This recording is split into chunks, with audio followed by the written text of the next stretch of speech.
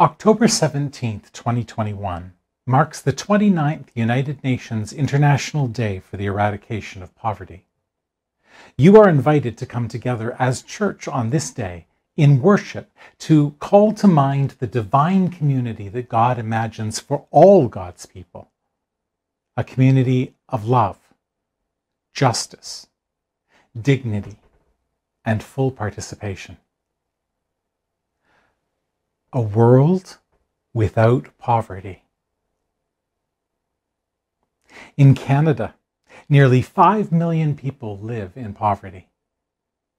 One effort towards this divine community is the call for a guaranteed livable income program.